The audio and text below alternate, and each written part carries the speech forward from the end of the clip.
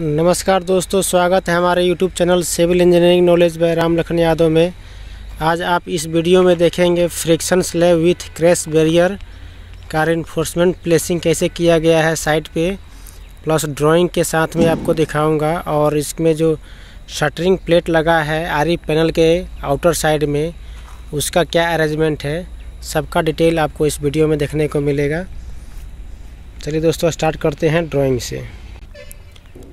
दोस्तों, ये dimensional detail है crash barrier and friction slab का, जिसमें आरी पैनल का फेस से दो मीटर है फ्रिक्शन स्लैब का लेंथ और आरी पैनल के आउटर फेस से इसका जो आउटर साइड में 150 सौ mm और इसका हाइट में 150 प्लस 200 प्लस 12 सौ mm का क्रैश बैरियर और क्रैश बैरियर का जो बॉटम फेस है 500 सौ mm का है। टॉप में 250 एम mm है।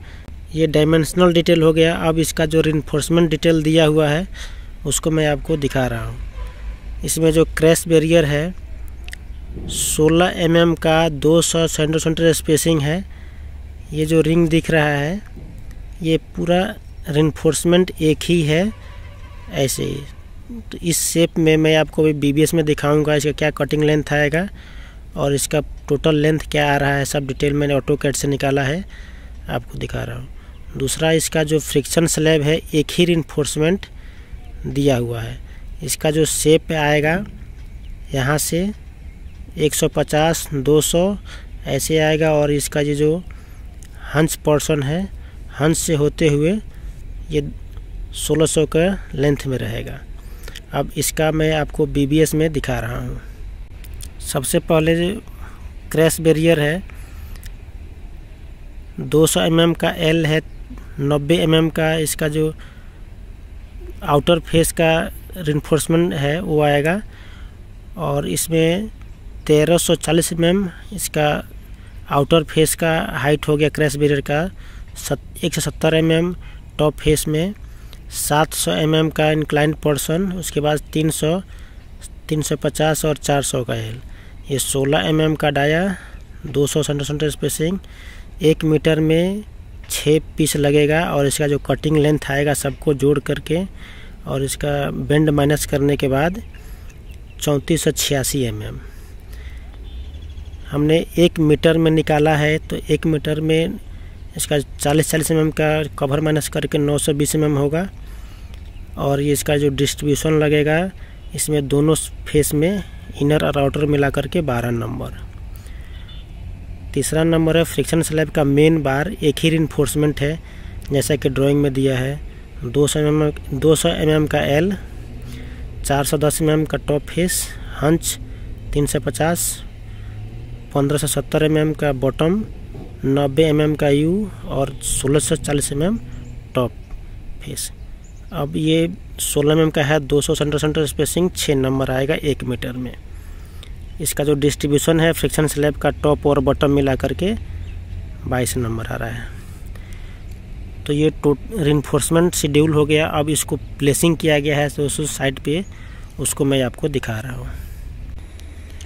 एक क्रैश बैरियर का इन्फोर्समेंट शेड्यूल साइड पे प्लेसिंग किया गया है।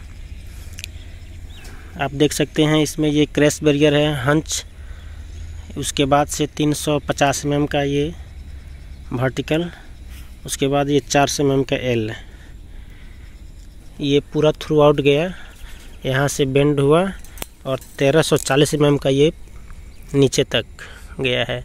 वहाँ से 200 एम का ये जो यू बार है, ऊपर की तरफ़ आया है फ्रिक्शन स्लैब के टॉप तक।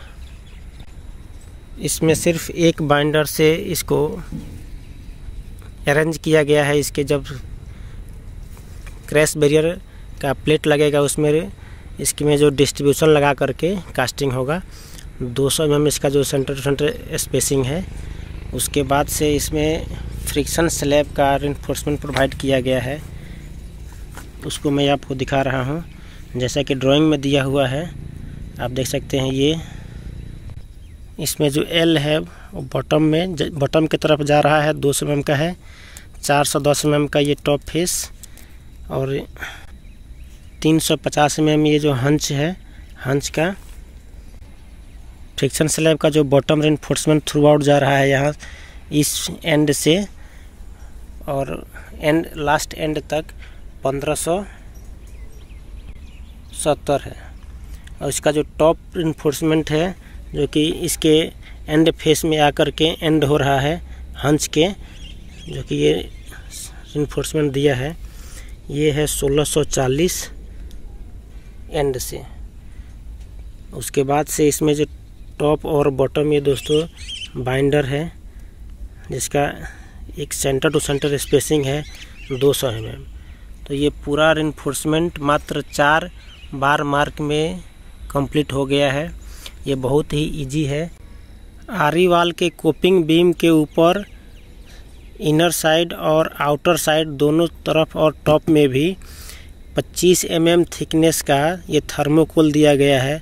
थर्मोकोल को ज्वाइंट करने के लिए ब्राउन टेप से इसको पूरा सेटअप किया गया है, जिससे कि एक दूसरे से बंधे रहे।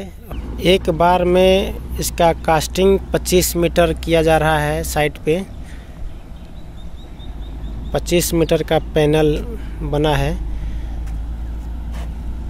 जैसा कि आप देख सकते हैं इसमें। क्रैश बैरियर का जो टॉप फेस है, एकदम दोस्तों लेवल में होना चाहिए, जैसा कि आप देख सकते हैं इस वीडियो में। एक पैनल 25 मीटर का कास्टिंग किया गया है। दोस्तों, अब मैं आरी वाल के आउटर साइड में जो शटरिंग प्लेट लगाया गया है, उसका डिटेल दिखा रहा हूँ। इसको कैसे प्लेसिंग किया गया है। सबसे पहले इसमें एक यू बार बनाया जाता है, जैसा कि आप देख सकते हैं इसमें। इसको आरी वाल का जो कोपिंग बीम है, उसमें ऐसे फिक्स कर दिया जाता है। फिक्स करने के बाद इसमें जो प्लेट है, डेढ़ सौ एम का कास्टिंग फेस दिया हुआ है। तो हमने 200 सौ mm का बनाया हुआ है आउटर साइड से एंगल लगा करके होल तो इसमें जो वर्टिकल प्लेट आएगा, इस होल के साथ मैच हो जाएगा। इसमें आउटर साइड से एंगल लगा है। ये प्लेट 200 का बनाया गया है, जिसमें बाहर से एंगल लगाया गया है और ये टॉप प्लेट आकर के इसमें कनेक्ट हो जाएगा। का जो विथ मिलेगा 150 सौ mm का। तो तरह से ये बिना सपोर्ट का इस, आप इसको साइड पे प्लेसिंग कर सकते हैं। अगर ये दोस्तों वीडियो अच्छा लगे तो लाइक शेयर एंड सब्सक्राइब करें। धन्यवाद।